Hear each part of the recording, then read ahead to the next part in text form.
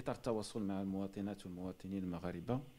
المغرب في هذا السنة في هذا الأسبوع الأخير كيسجل ارتفاع ديال العدد ديال الإصابات.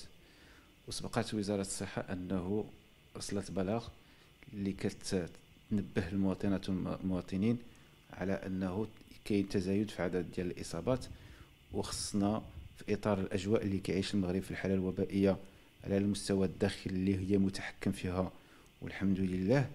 ولكن الحالة الوبائية اللي كنعيشوها على المستوى الدولي واللي هي متدهورة وكتخلق لنا واحد القلق.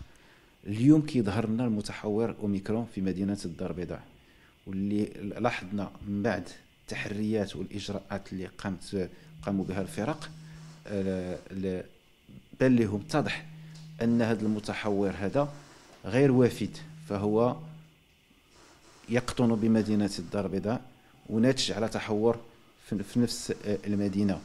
ولهذا خاصنا نتعاملوا معها بحذر.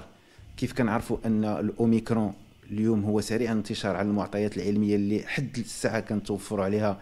لأن مازال هو كيحيط واحد الغموض وما خصناش نتسرعوا في الحكم ديالنا بسرعة. فكنبقى ولا, ولا بدا على واحد الدرجة ديال اليقظة عالية. لأن الأوميكرون كي سرعة الانتشار ديالو جوج حتى ثلاثة المرات أكثر من الدلتا. والإماتة ديالو لحد الآن كيقولوا هي ضعيفة ولكن خاصها شوية ديال الوقت باش نحكموا عليها أكثر فأكثر. شنو هما السبيل اللي كيبقى لنا باش نبقاو حافظين على هذه المكتسبات ونحفظوا البلاد ديالنا ونمنعوها من هذه المشاكل والمضاعفات اللي هو خاصنا نبقاو على الإجراءات الوقائية لأن الإجراءات الوقائية لا من استعمال الكمامة وضروري خصنا نستعمل الكمامة. هي الكمامة هي من الوسائل اللي هي ناجعة. ما كتعرف لا متحور ولا كيما بغى يكون النوع ديالو كيمكن لها تصدى ليه ثانيا أن كاين علميا تثبتات أن المناعة باللقاح كيمكن لها تعزز ب 75% أكثر واخا يكون المتحور. ولهذا خاص الناس اللي مازال ما تلقحوش يتلقحوا.